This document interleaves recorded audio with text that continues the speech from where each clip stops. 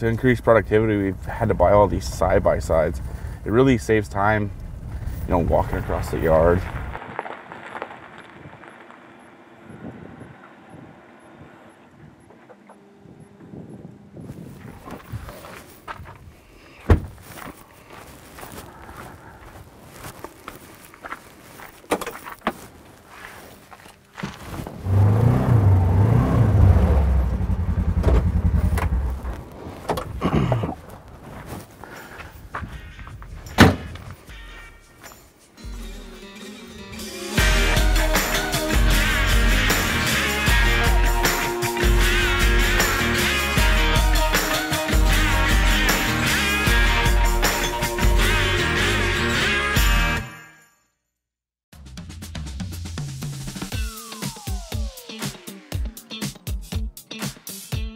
There was a new spot opened up in OSY and I knew it was the right fit.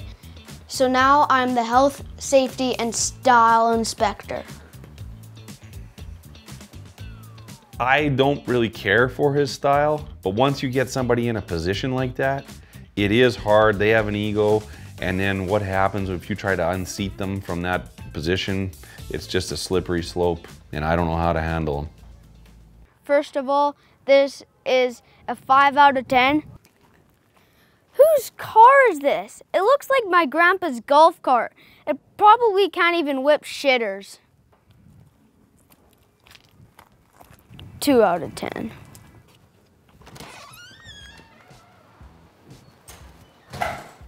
Hey Grandma, I like that sweatshirt. That's a 7 out of 10 in style points. Hey Uncle Greg, when was the last time you shampooed that beard? That's like a 2 out of 10. My gosh. How do you say it's safety and style? I think what we need to do is have Nomex coveralls and then sew on ripped skinny jeans on the outside of them to appease Cole. Like I think, I don't know how else we're gonna do this. I know Brandon's trying with his hair, but it's just not like mine. So he's not as cool as me. But I know he's trying, so it's still about a 5 out of 10. Oh, your hair is one out of ten. Boom! 10 out of 10 for sure. Now that the next generation is starting to get involved at OSY, Dallas is contemplating taking a step back. There's always an evolution of a business and it takes an entrepreneur to get it started, if you will, and then sometimes an entrepreneur can just get bored or maybe they're just lazy when it comes down to working a business every day. I think that it's probably time for me to step back at OSY between Greg and Ken and Sam and Brandon and Win and they don't need me. I was thinking about picking up an old hobby, but also a business venture, and I was gonna get back into sheep farming.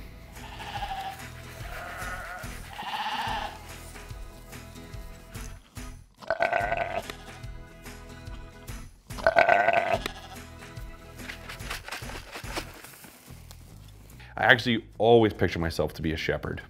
I'd always just thought these sheep, they look so vulnerable and somebody needs to take care of them. And I thought that's me. I could be the guy to take care of these sheep. You need to grow bigger. We can sell you for more dollars.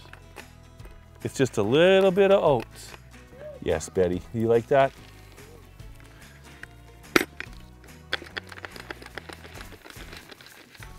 You want some, Tracy?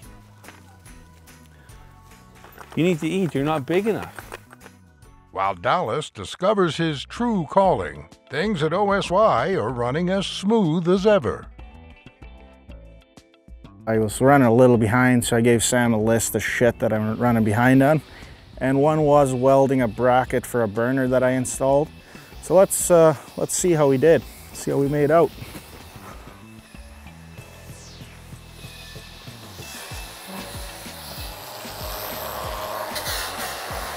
Sam,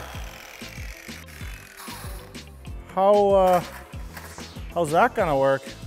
Oh, just perfect. You want to see? Uh, yeah, I wouldn't mind. You're doubting me again? Well, maybe this let's see how this. maybe this time I'll be right. Got to be a first I, uh, eh? I don't think that'll work. Oh boy. Well, can you give me half an hour? no, let's. I want to see how it's gonna work right now.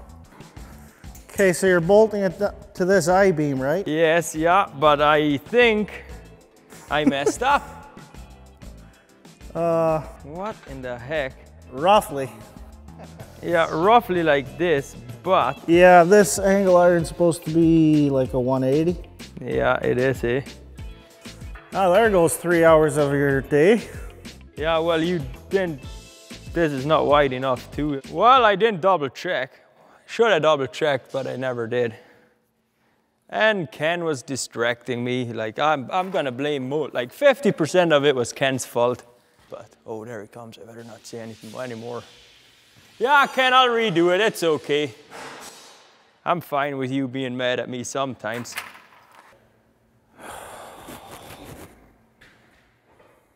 As Ken and Sam struggle to get on the same page, the shepherd is having some struggles tending to his flock. Come here, Fred. Here, Fred. F- me, these fing sheep. Here, Fred.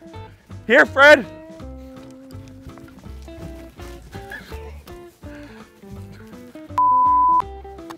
Oh, oh, Nelly. Oh, you're caught. I, I bought, you know, 2,000 sheep and had them for a week, and I was like, it, I can't take it. I'm done with sheep.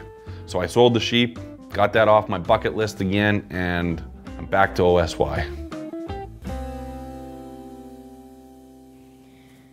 I like work and all, but sometimes I need to have a little break. That's why I come out here and hit dingers.